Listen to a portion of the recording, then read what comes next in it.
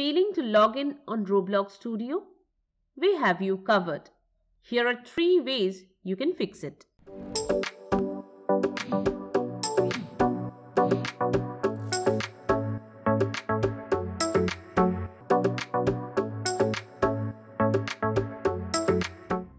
Before we move forward, do us a favor by subscribing to our channel and liking this video.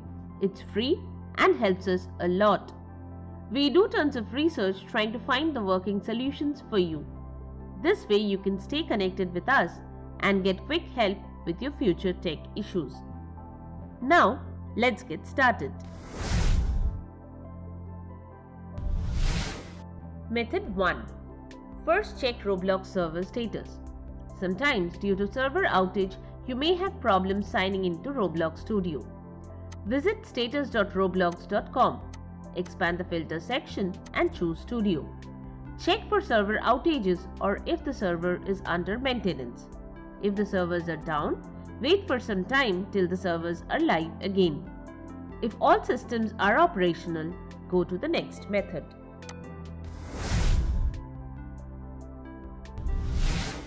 Method 2. The next thing you can do is restart your PC and your router. Click on the Windows Start button. Choose the power button and choose shutdown. Make sure to unplug all the power cables attached to your PC. Next, unplug the power cable of your router. Wait for a few minutes before connecting everything back and then restart your router and PC. Launch the Roblox Studio after that and check if you can log in now. If you still cannot, go to the next method. Method 3. Another thing you can try is reinstalling the Roblox Studio. Click on the Windows Start menu and type Control Panel. Select the top option. Click on Programs and Features. Right-click on Roblox Studio and choose the Uninstall option. Reinstall Roblox Studio from their official website.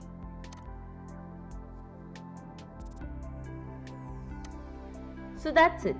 Subscribe to our channel and get quicker solutions to all your tech issues.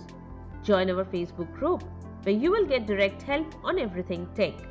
Leave a comment and help others know which solution solved your problem. Thanks for watching and always remember that we are here to help you out.